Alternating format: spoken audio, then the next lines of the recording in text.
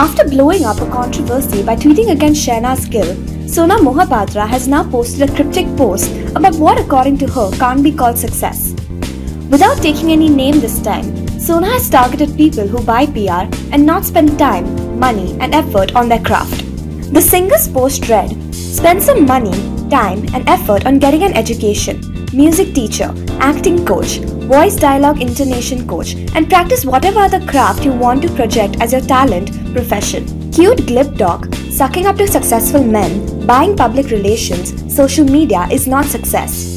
Soon after, Sona's post started getting reactions from the Twitterati, and many started trolling her for being jealous and mocking Shehnaaz without any reason. Some comments read, You are mocking her without any reason. She doesn't even answer you. You are in pain. May God give you Jandu Balm. And implemented babe, useful tips for yourself. For more news and updates, stay tuned to eTimes.